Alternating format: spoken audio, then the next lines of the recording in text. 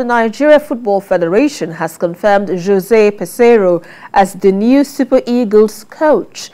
Peseiro is expected to lead out of the Super Eagles for the first time during the upcoming tour to the United States of America, during which the three-time African champions will slug it out with Mexico and Ecuador, A teams in prestige friendlies. Peseiro featured as a striker during his playing days and has a wide range of experience coaching several clubs and national teams across Europe, Asia, Africa and South America.